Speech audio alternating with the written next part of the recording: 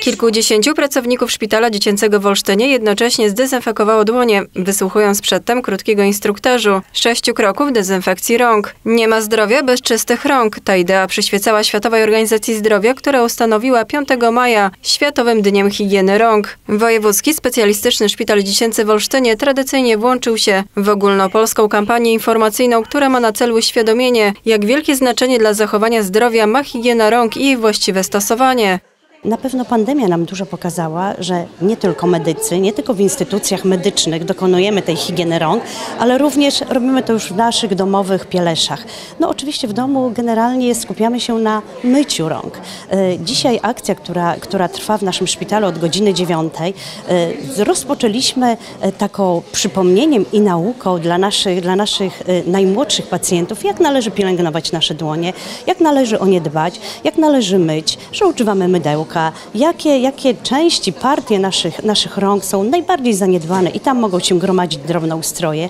Mówimy dla naszych małych pacjentów, że aby myć rączki e, trzeba, trzeba używać wody, trzeba używać e, mydła. Wtedy eliminujemy drobnoustroje, które mogą powodować zakażenia, które mogą powodować na przykład bóle brzuszka u dzieci. Termin choroby brudnych rąk znany jest nam wszystkim, a dolegliwości wynikłe z braku higieny mogą być bardzo poważne. Zakażenia, choroby układu pokarmowego i wiele innych przykrych dla zdrowia konsekwencji. Można ich uniknąć myjąc ręce, a w jaki sposób robić to prawidłowo. Prawidłowo myć ręce to jest bardzo ważna czynność, a zarazem bardzo prosta.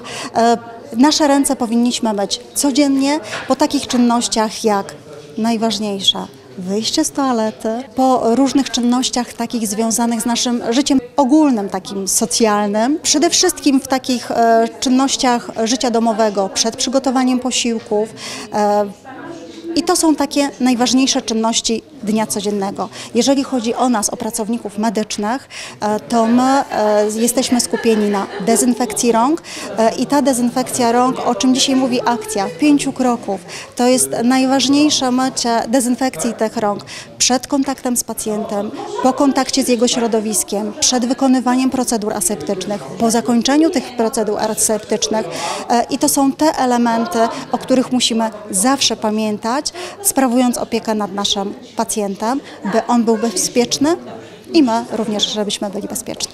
Podczas wydarzenia odbył się również konkurs z nagrodami dotyczący m.in. zasad dbania o higienę rąk oraz techniki mycia i dezynfekcji.